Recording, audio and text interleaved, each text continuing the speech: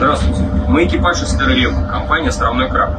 Находимся в рейсе с августа 2023 года по 3 января 2024 года. За время рейса выпустили 305 тонн готовой продукции при неполном составе экипажа.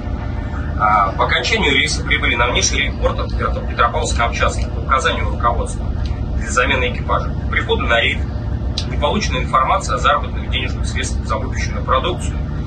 Экипаж продолжает выполнять судовые э, работы в штатном режиме.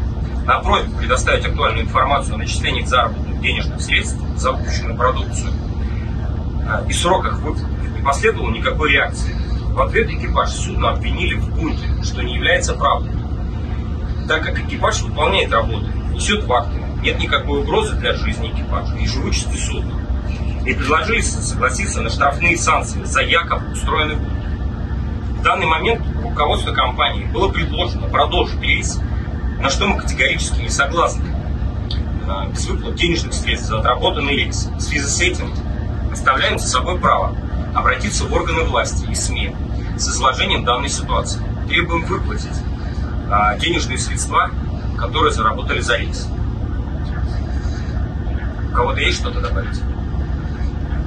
Всем в кратчайшие сроки. Выплатить, да, в кратчайшие сроки. Такое ощущение, что наступили 90-е годы.